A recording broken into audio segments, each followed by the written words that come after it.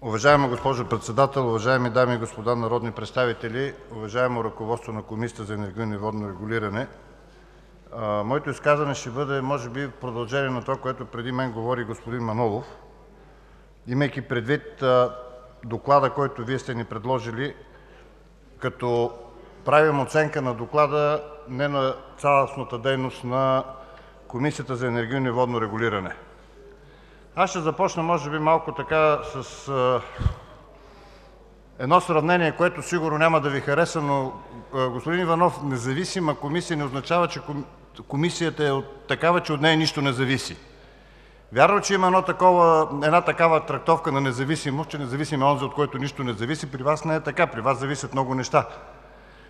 И когато говорим за регулиране на обществени отношения, те включват не само тези, които предлагат услуги, и тези, които се ползват от тези услуги, те включват не само ценово регулиране, те включват цялостния комплекс от изграждането на тези отношения, започвайки от закони, през изпълнение, контролиране.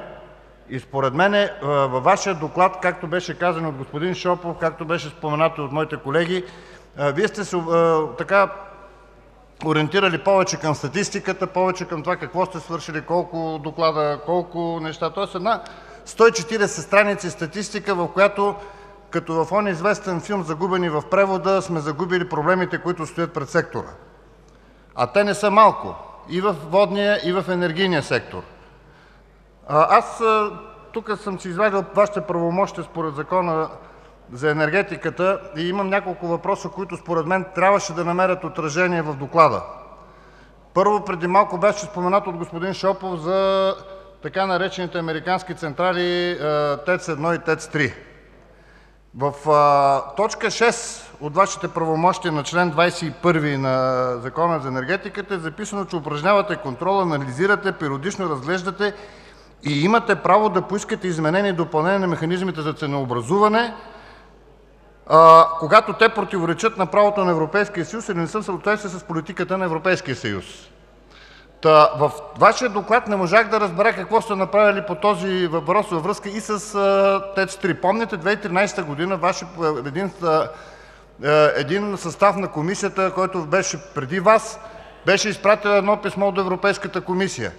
Аз знам, че отговорът е изпратен до Министерството на финансите, но във Вашия доклад не се вижда каква е била Вашата заинтересованост от кореспонденцията между Министерството на финансите и Европейската комисия и къде сте Вие в цялата тази роля. Следващото нещо, на което искам да Ви обърна внимание, ние даже правихме едно специално съвместно заседание на Комисията по енергетика, Икономическата комисия, Комисията за регионално развитие по повод така наречените правила за присъединяване на малките и средни предприятия и безумната административна тежест, която стои върху тях. Извинявайте, но в т. 6 е написано, че Вие определяте тези правила и според мен трябваше най-малкото тук да споменете какви са пречките пред Комисията, за да може наистина да осигурим онзи инвестиционен климат и онези условия за работа на малки и средни предприятия, за да могат да имат лесен, бърз, качествен достъп до енергия. Това също не го виждам във Вашия доклад. Знам, че това е въпрос не толкова на Вас, колкото законодателни промени и промени в наредби на съответните министерства, но Вашата роля е да сигнализирате като лампичка. По-нататък, спомняте си, че точно преди една година тук, от тази трибуна, се разви драмата ЧЕЗ. Приехме съответно изменение в Закона за енергетиката и въведохме една т. 23а към ал. 1 на чл. 21 вече, както Ви казах, от Закона за енергетиката, където пише, че разрешавате сделки по разпореждане с дялови акции. Да не Ви занимавам, тук всички колеги сме го гласували, знаем за какво става въпрос. В резултат на проведения тогава разговор и Вашия почти отказ да изпълнявате Закона, защото нямате критерии, стигнахме до извода, че такива критерии трябва да бъдат разработени. Министерството на енергетиката пое ангажимента да ги разработи тези критерии. Оттогава мина една година, но нищо не се случва и това пак не е отразено във Вашия доклад. Извинявайте, но ЧЕЗ пак е на тезгяха.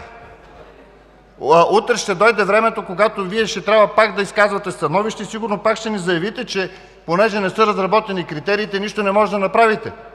Сигурно е така, но това трябваше да бъде отразено в доклада като проблем пред Вашата дейност, който трябва да бъде решен. Няма го. Въведохме Ви правила и Ви възложихме ангажимента да контролирате сделките на независимата електроенергийна борса – дали са прозрачни, дали не са. Знаете, в края на 2017 г. възникна проблем с цената на тока, която скочи неимоверно много на независимата борса, макар че ние всички убеждавахме, че когато имаме свободен пазар, когато имаме борса, там цената ще е пазарна, ниска и не знам още какво. Тогава казахте, че нямате инструментариума, сега го имате този инструментариум. Разбрахме, че вече сте организирали административната част на изпълнението на този закон. Извинете, хората не ги интересува Вашата административна част, интересуват ги изводите, препоръките и какво се е случвало на борсата, и какво ще предприемете, за да не се случва това, и какво трябва ние като законодатели да предприемем, за да можем да Ви гарантираме на Вас необходимия инструментариум. Няма го в доклада. Нещо повече, аз мислех, че във Вашия доклад като един от проблемите, които ще поставите, и така нареченото възникване на новата борса, която искаме да направим в България, така наречената газова борса с хъб „Балкан“ и прочие, правилата. Кой ще контролира сделките там и дали са прозрачни, дали са законосъобразни?